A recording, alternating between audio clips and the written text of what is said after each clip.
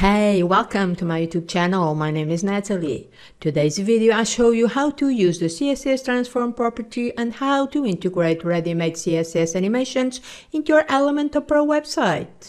Before we begin, consider showing me a little bit of love by, by hitting the like button or to subscribe to the channel where I talk all things related to WordPress websites. So what is CSS?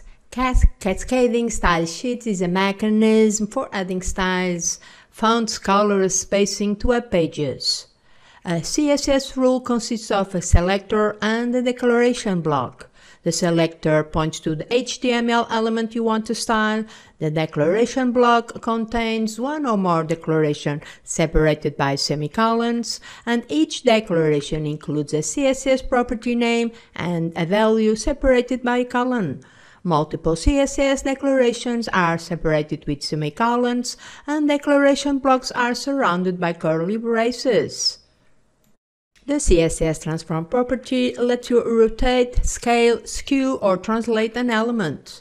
It modifies the coordinate space of the CSS, the X and the Y axis. I mouse over the element to see CSS transform rules applied. This website is a great place to get started. It's very well organized by chapters and you can play live to get results and to experiment on your own. So what's the purpose? Is to create useful interactions to best fit your design. Elementor Editor in Pro users as this feature integrate into any widget so you can create beautiful custom designs to your site. In web design, even a small effect can change the overall user experience. The idea concept behind mouse over effect is to reduce the effort that the user has to make to view more details or to display additional data or important feedback. However, keep it simple to not overload the page. One of the biggest issues is that there is no over effect on touch screen. What you can do though is to disable it in mobile devices.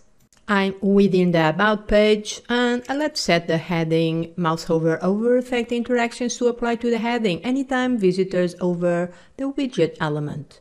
This works only with widgets and not within sections, columns, or inner sections, at least at this time. With Elementor panel, to apply the CSS property, all you have to do is to click on the Advanced tab and then on the Transform panel. I only want to create interaction, interactions for my users when they mouse over, over my main heading. So you need to click on the Over panel tab. To skew, I try minus 10 pixels on the x-axis. The x-axis is the horizontal axis. Now mouse over over the element to get interaction result. Not bad, really. We must set now the transition duration. I set to 1000, meaning the transition takes one second long. The skew y-axis I try to insert minus 10 pixels in the y-axis, which is the vertical axis. No, I don't like it. You can turn off here or manually or you can resort to the default by clicking on the default icon.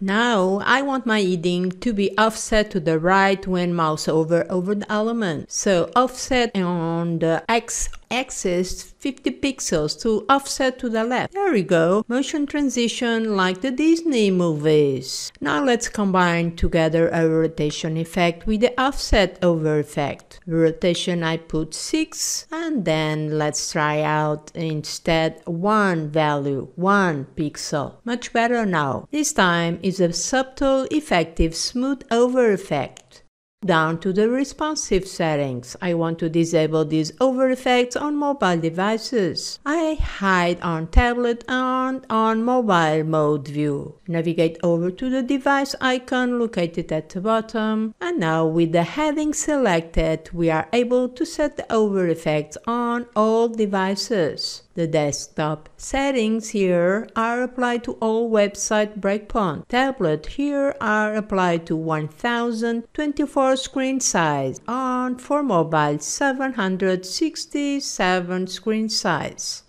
Try now to flip the horizontal and then the flip vertical. To disable, just click on this restart icon. We can also tweak each of the over effects by devices. Thus, I click on the little icon pencil on the left side offset icon control. Inside each one, click on the desktop icon and then decide which device you want to edit by clicking on the device icon. I click tablet now and I set my offset X to be 100 pixels instead of 50 pixels. Choose the percentage unit as it is a responsive one. And then for mobile devices, I turn off by setting to 0 me show you another example you can use with the rotation CSS property. Had a new Elementor, Elementor section with one column and I also added an image widget.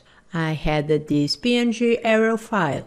And let's play now a little bit. Remember, Transform CSS only works inside Elementor with widgets and not inside sections, columns, or inner sections, at least at this time. Go to the Advanced tab, transform and enable the rotation property. For desktops, I put 30 pixels. Transition duration is 1000, meaning it's 1 second long. Now I switch the vertical y-axis to the left. As you can see, the motion curve is different when someone mouse over over. Now it's pointing out to the icon location. Cool. Now I switch the vertical y to the center by clicking on the bottom anchor point. The motion is quite different and quickly preview your animation by using the navigator feature. Press Ctrl Y from your keyboard, toggle on and off in the eye icon. It's time to learn about how to insert ready-made CSS animation into your Elementor website. We can add custom CSS to any Elementor widget. We can insert on for columns, section, widgets. I first navigate over to Animista website. I have chosen this one to start off. It's quite easy to add into your Elementor website. Don't feel intimidated as I go along all the necessary steps. First, with auto prefixes selected, copy to your clipboard. Then go to Elementor editor and inside the CSS custom section under the advanced tab paste here all the code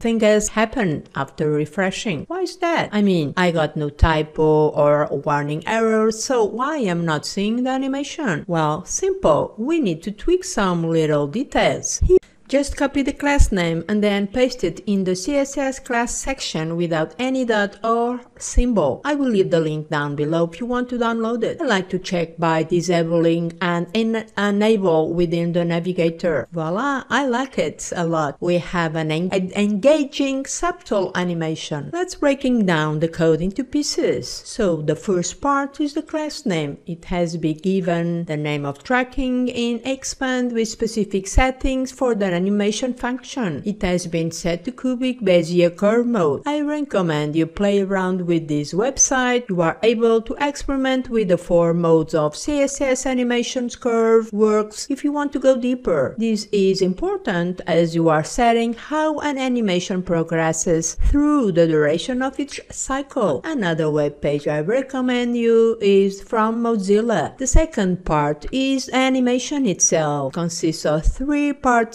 the animation beginning which is at 0% which has two properties declared. Then at 40 and 40% the animation the text opacity changes and completes this cycle with 100% opacity. At 100% opacity the letter spacing is squeezing out. CSS is magic. Amazing do you know how to find out Elementor CSS class names and IDs with the Chrome Inspector tool? Let me know in the comments below if you need this kind of video tutorial for a future release. Had a cool text shadow effect. I have a heading widget, with this color and then I go to the advanced tab and in the custom CSS box I paste here this CSS snip. I will leave this for you if you wanted to download it. It has a CSS class named as animate.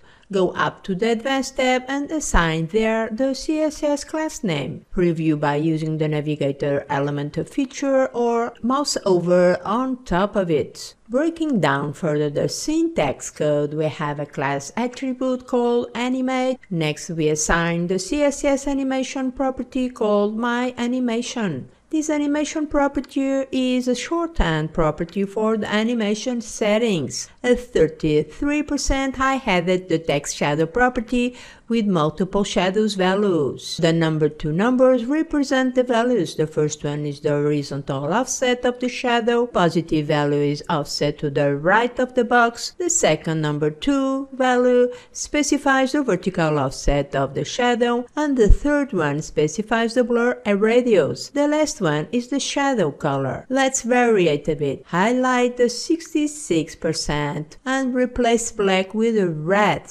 Let's preview. In a matter of seconds, we added our custom CSS to our design. Play around with it, insert new CSS valid values. Provide me with any feedback in the comment section below about what do you think about this new video tutorial format. Do you want a specific video tutorial about CSS or about the use of the inspector tool for finding the class and ID names attributes?